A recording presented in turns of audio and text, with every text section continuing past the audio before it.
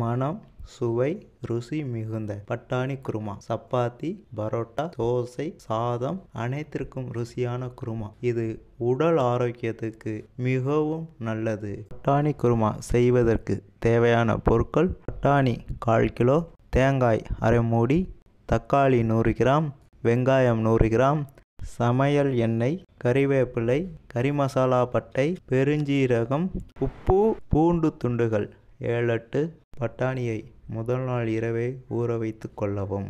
இப்பொழுது பட்டாணியை நன்றாக அலசி தண்ணீரை வடிகட்டி கொள்ளவும். இப்பொழுது அடுப்பை பற்ற வைத்து பட்டாணியை அதில் வைத்து வேக விடவும். சுமார் ஏழு நிமிடங்கள் அடுப்பில் நன்றாக வேக வைக்கவும். இப்பொழுது பட்டாணியை திறந்து பார்த்து வெந்ததா என்று பார்த்து கொள்ளவும். பட்டாணி நன்றாக வெந்தது என்றால் ஒரு பாத்திரத்தில் கொட்டி வைத்து கொள்ளவும். இப்பொழுது ஒரு கடாயை அடுப்பில் வைத்து அடுப்பை மூட்டவும். கடாய் நன்றாக காய்ந்ததும் சமையல் எண்ணெய் மூன்று கரண்டி ஊற்றவும். சுமார் ஐம்பது எம்எல் எண்ணெயை ஊற்றவும். எண்ணெய் நன்றாக காய்ந்ததும் அதில் சோம்பை போடவும்.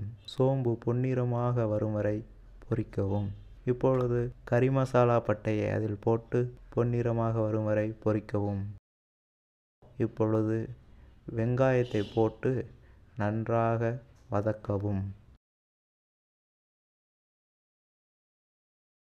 வெங்காயம் நன்றாக வதங்கியதும் கருவேப்பிலையை போடவும்.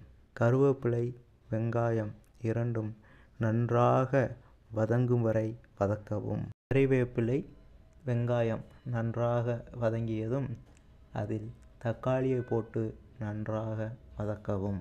தக்காளி நன்றாக மசிந்ததும் குழம்பு மிளகாய்த்தூள் பெரிய கரண்டியில் மூன்று கரண்டி போடவும்.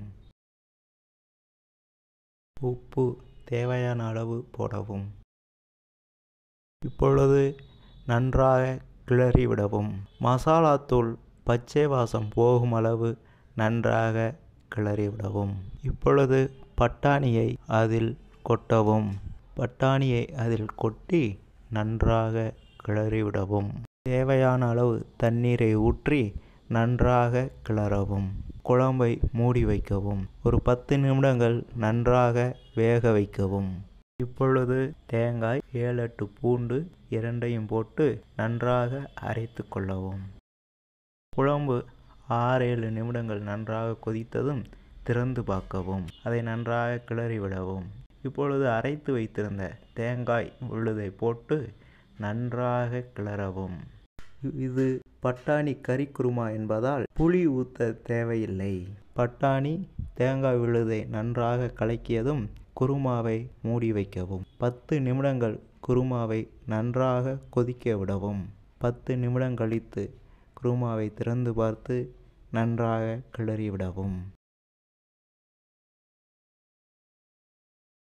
அடுப்பை அணைத்து விடவும்.